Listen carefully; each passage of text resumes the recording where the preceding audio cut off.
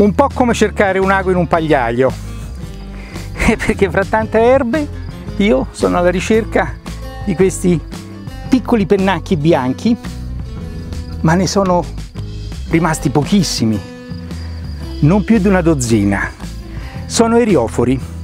Gli eriofori sono delle piante speciali, particolarissime, piante tipiche delle torbiere, appartengono a un'epoca lontana, un'epoca glaciale, quando i ghiacci si sono spinti fin nel cuore del Mediterraneo, portando con sé tutto un corteggio di piante e di animali tipici delle zone settentrionali.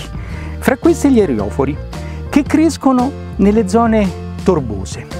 E le torbiere sono delle praterie acquitrinose dove si deposita il materiale organico vegetale, forma una sorta di tappeto più o meno spesso primo processo della formazione del carbone e questo terreno è adatto allo sviluppo degli eriofori.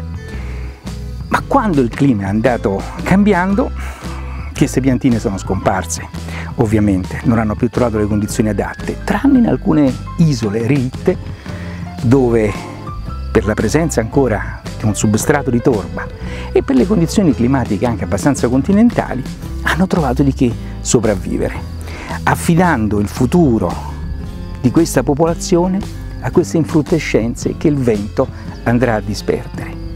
Quest'anno sono una dozzina.